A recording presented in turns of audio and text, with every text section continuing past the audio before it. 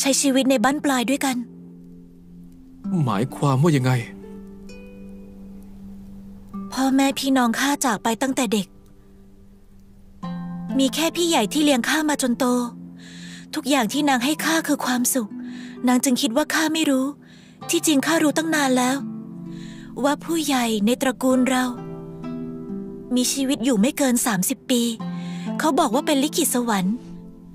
ดังนั้นข้า จึงต้องหาโอสถเซียนให้เจอ ไม่เพียงแต่อยากช่วยพี่ใหญ่ ข้าอยากช่วยคนในตระกูล แล้วก็ตัวข้าเองด้วย ไม่สิ หลิงซา เจ้าอย่าเชื่อลิขิตสวรรค์อะไรนั่น ชีวิตเป็นของตัวเองทำไมต้องยกให้สวรรค์ด้วย เจ้าวางใจ ข้าจะไปหากับเจ้า ถึงต้องตายข้าก็จะหาทางให้เจอ เจ้ากับพี่ใหญ่ จะต้องมีชีวิตอย่างแข็งแรงแน่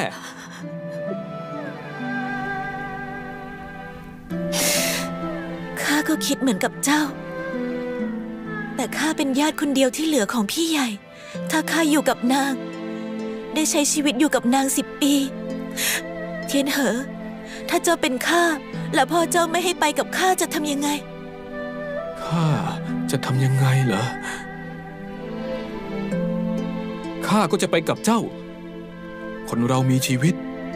เพื่อทำสิ่งที่ตัวเองอยากทำอยู่กับคนที่ตัวเองชอบไม่ใช่เหรอ พ่อแม่ข้า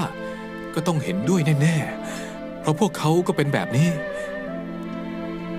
ถ้าเกิดว่าข้าเหมือนกับแม่เจ้า ที่จากไปตั้งแต่ อย่าพูดเหลวไหล เจ้าจะไม่เป็นอย่างนั้นแน่ แล้ว ถ้าสมมุติล่ะ ข้าก็จะอยู่กับเจ้า ไม่ว่าเป็นหรือตาย ข้าจะเคียงข้างเจ้าเสมอ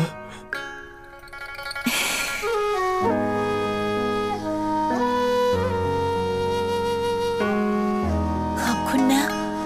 เทียนเหอ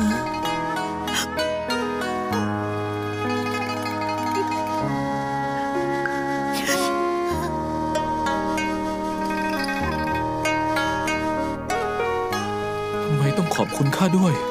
ตอนแรกข้ายังลังเลสับสน แต่ข้าตัดสินใจแล้วว่า จะไปหาอาวุธเหมันกับพวกเจ้า ข้าคิดว่า ญาติพี่น้องของข้าจะต้องเข้าใจ